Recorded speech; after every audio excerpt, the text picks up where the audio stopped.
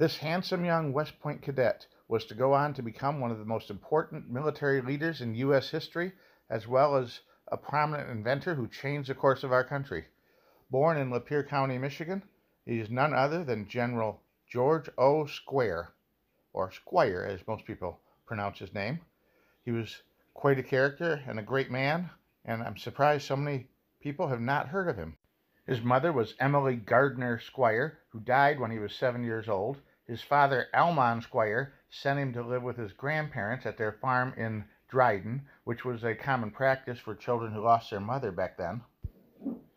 After graduation from West Point with his degree in engineering and physics, he was assigned to the Signal Corps. Some of his biggest accomplishments included integrating technology into the armed forces, setting the Air Corps in motion to get that started. He was the first Army officer to fly in an airplane as a passenger. He also developed a modern telegraph system called the duplex system, where telegraph lines could be operated with more than one signal at the same time. People could send and receive telegraphs simultaneously without having to wait for one person to finish using the system. And that's really the basis of our whole cell phone and internet system that we use today. So you could say he helped found the internet with his technological advances, and here he is working on one of his machines. He also invented streaming music. That's right. You owe all of your streaming services to his idea to provide music via cable to various businesses and organizations, and that company's still in business. You might have heard of it. Muzak. He received an honorary knighthood, and he received multiple honors for his accomplishments throughout the world. He even had a ship named after him during World War II. He never married and had no children, but he had a country estate in Dryden, Michigan, that he left to the people of Lapeer County. He referred to it as the People's Country Club. This building is known as Forest Hall, which has been used as a meeting it has been well maintained in its rustic original design and is still in use today. Also still located on the property is one of the two original cabins or cottages, as well as the lookout tower, which is a two-story edifice behind this in the woods near the sledding hill.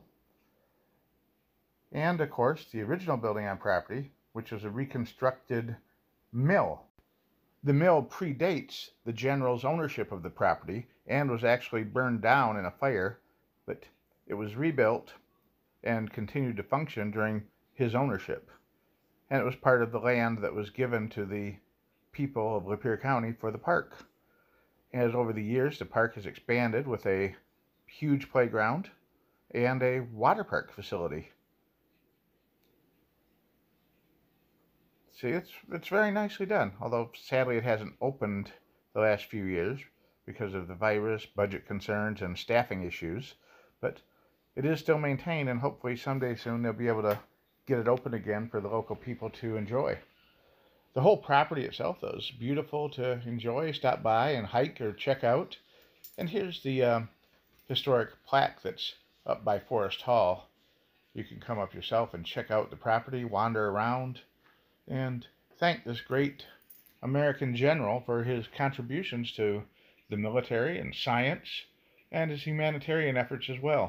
In his later years, he spent time at his winter home in St. Augustine, Florida, but he never lost his love for the rural lifestyle here in Lapeer County. He's buried with military honors at Arlington National Cemetery. I hope you enjoyed this brief introduction to the life of this great man and that you might take some time to do some more research and study a little bit more about his life and times and what he actually did. He was quite a fascinating person. Thanks for watching and have a great day.